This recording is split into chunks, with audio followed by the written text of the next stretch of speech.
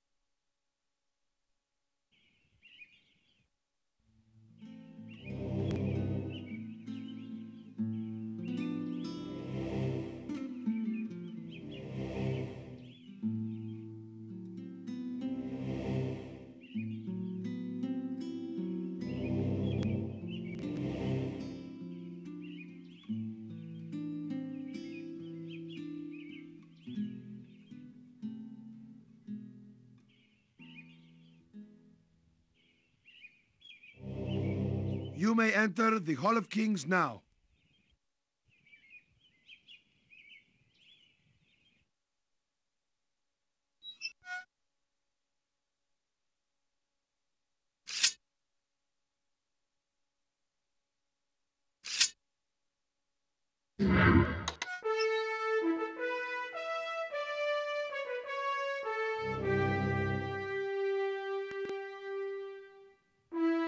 Greetings, Prince of Shapir. I am Logos, counselor to rulers and speaker of Silmaria. Welcome to the kingdom of Silmaria. I have heard much of you from your friends Erasmus and Rakeesh. Greetings, my friend. It is good to know that you are here. This land needs a hero of your abilities. I trust you understand why you were summoned here. The rites of rulership need one more entrant before it can begin. All other competitors are worthy individuals. However, I suspect that these rites will be more dangerous than they are intended. We believe that the one or ones who assassinated the King of Silmaria will attempt to make certain the contestant they support will win. You must understand that your life will be in grave danger from the moment you enter the rite of rulership. We will be doing everything we can to stop the assassin, but you'll need to be wary. Hero of the lands of Shapir, Tarna, and Mordavia, will you enter the rites of rulership? It is an honor to meet you. I am the Speaker of Silmaria. I am the voice of the king and of the people. I will make certain that only the most worthy shall attain the rulership of this kingdom. That is my duty my honor. Rakeesh and I have been friends for many years. When the king was assassinated, I contacted him through Erasmus for his wise counsel. Both Rakeesh and Erasmus mentioned you and spoke of your worthiness. The Rites of Rulership is a series of quests that will aid Silmaria. Five individuals will compete to complete these quests. The one who accomplishes the most will be judged worthy to become king.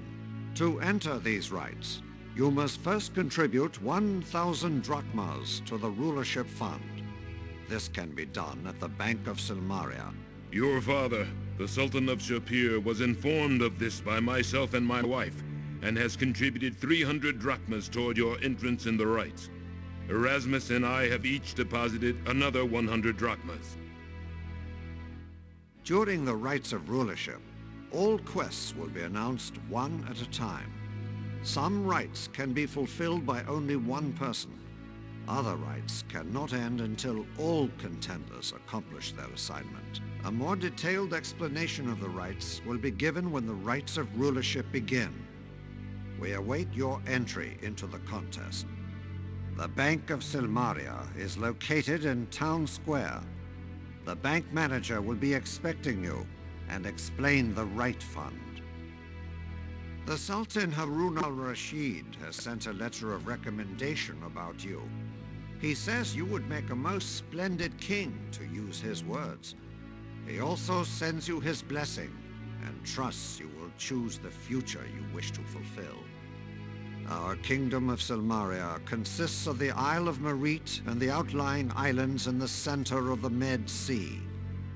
The city of Silmaria was built upon the prime port of this island and is a thriving center of trade for the world. Marete is a large volcanic island that is said to have risen when Atlantis fell. It is mostly rock and seashore, rising steeply to the peaks of Mount Draconis. In the caldera of Draconis is the most inaccessible Lake Moray. The entire island of Marete is the base of Mount Draconis.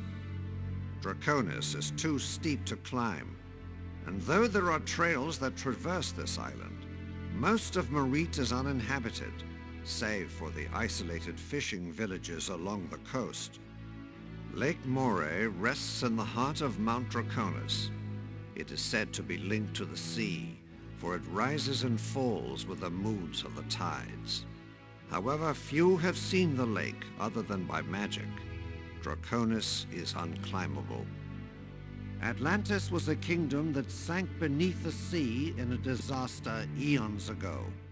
It is said that the inhabitants were transformed into tritons and other sea creatures. The city of Silmaria is built on various levels. It was designed as a defensible fortress in the days when wars were more common. However, this city has been a center for peace and prosperity for generations. We have had no need for an army, and have none. Unfortunately, Marete has been invaded by Hesperian mercenaries. They have taken the outlying fishing villages. We do not have the force to drive them away. When was your island invaded? Two days after the king was assassinated. We do not presume this is a coincidence. However, Silmaria has the resources to withstand a siege and has never in its history fallen to invasion.